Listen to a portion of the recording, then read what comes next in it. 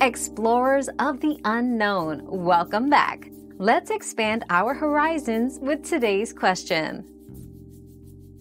No, reporting a message as spam does not delete it for the other person. Reporting a message primarily alerts the service provider about a potential issue and does not affect the message's visibility to the recipient. To remove a message from the other person's view, you would typically need to use a delete for everyone feature, if available.